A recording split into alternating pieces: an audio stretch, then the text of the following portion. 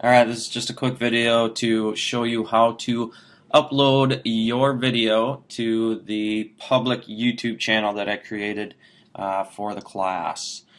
So first thing you need to do is go to Google's homepage, which you can see here. Uh, make sure you're not signed in, so you'll be able to sign in under our uh, public name. So click on sign in, right there.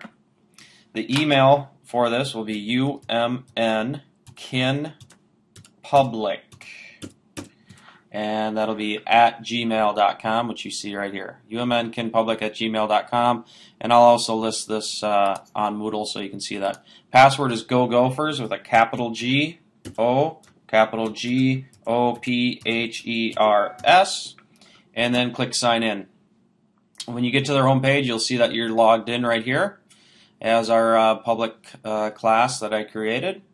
You need to find the YouTube link, which is right here. It may be under more for some of you, but otherwise click on YouTube.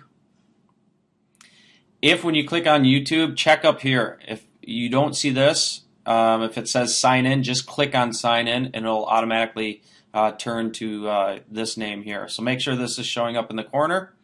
Then you simply need to click upload. And then you can drag and drop or you can search for your file um, I'm going to upload just a little event video that I created for last spring's event. It's going to upload. You see it says seven minutes remaining, whatever. Um, but it's going to be live at some point, and that will show up uh, in your YouTube channel. So um, one thing, make sure that your name is attached to the video. Either put it in the title, like right here, and maybe just put um, you know hyphen your last name. So I could do can teach event intro hyphen Vollum or whatever you want. Okay, so make sure you are um, somehow attached to it. So um, I'm going to pause it and I'll show you what happens when it's done uploading. Alright, so now you see that it has been uploaded. There's a link there if you want to link that, but um, down here too, if you want to make it private. Right now, anybody on the uh, internet can see it. If you want to make it private, feel free to do that. You can make it private, then the only people who can see it are the people who have um, access to this channel, which is everybody in your class.